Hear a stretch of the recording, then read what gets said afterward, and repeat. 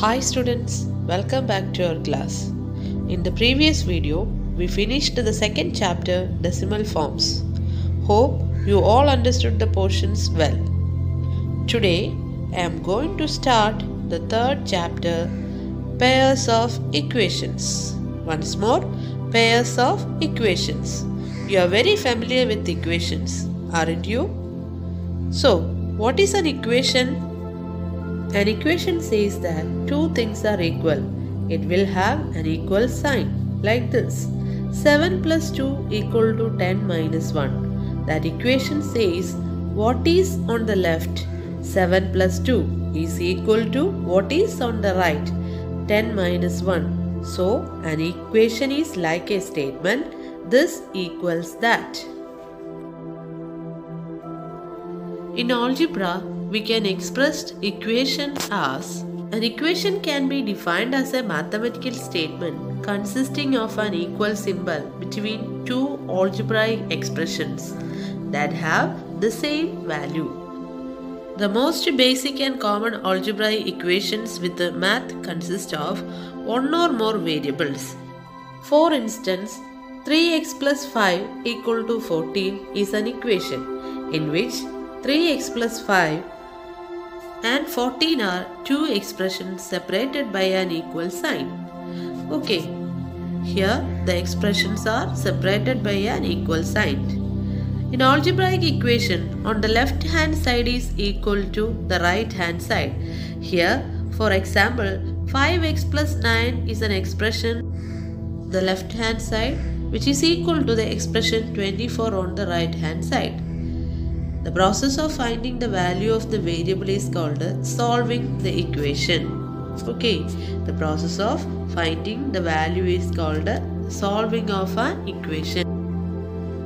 Next, 2x plus 17y minus 3 is not an equation because it does not consist of an equal sign.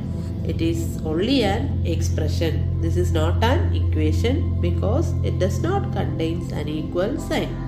Is it clear for you children? Okay.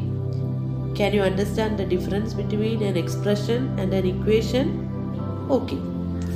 An equation always contains an equal sign. Next, variables and constants.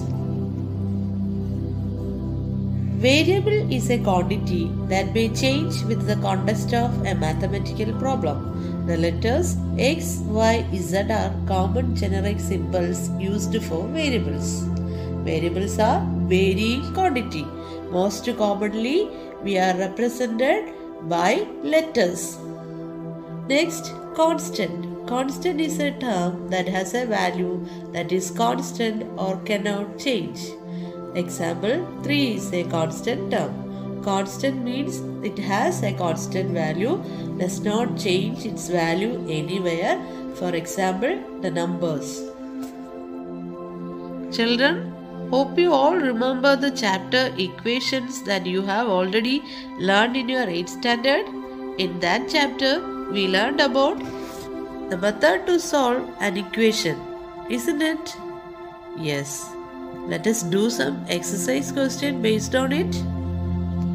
We are going to solve the questions on page number 36. Do each problem below either in your head or using an equation with one letter or two equations with two letters. Question number 1. In rectangle of perimeter 1 meter, one side is 5 centimeters longer than the other. What are the length of the sides? Here, the question says that the perimeter of a rectangle is 1 meter and one side is 5 centimeter longer than the other sides. Then we have to find the length of two sides of that means the length and breadth of the rectangle. So let us do the answer. First we have to take the shorter side be x. Then the longer side be x plus 5. Next perimeter is equal to 1 meter. 1 meter is changed into centimeter and it is equal to 100 centimeter. As we all know that perimeter is equal to 2 into L plus B. So we have to write 2 into x plus x plus 5 equal to 100. Okay, for simplifying this equation, first we have to divide 100 by 2. So we get 2x plus 5 equal to 50.